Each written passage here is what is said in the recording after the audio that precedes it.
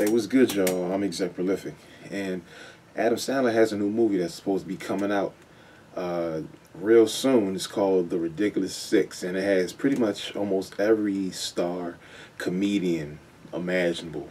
Um, you know, this guy, he knows a lot of people in the industry, and you can tell by his movies, they're usually always star-studded with so many cameos. Um, and, you know, even though his movie Pixels kind of flopped for the kind of budget they spent on the movie, it, it, it didn't do as well as they expected.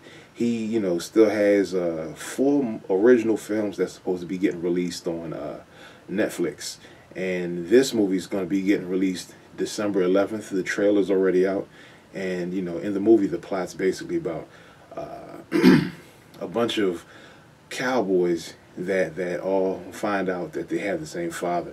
And in the movie, it's going to be Rob Schneider, Will Forte, Luke Wilson, David Spade, Terry Crews, John Turturro, Whitney Cummings, and Norm Macdonald. That's just the name of few, uh, you know. And pretty much, you know, it seems like it's going to be a funny movie. This movie is the same movie that had a lot of controversy that came out about Native Americans walking off set because they didn't agree with the uh, the, the Indian names that they were going to use in the movie, the comical Indian names, because they the Native Americans felt that they were going to, you know, those were disrespectful names that they were using, you know, for the comedy. So they walked off set. And I do remember hearing that in the news, and I do remember that it was an Adam Sandler movie, but I didn't know it was this one. I never knew what the title was, The Ridiculous Six. So that'll be out on Netflix December 11th.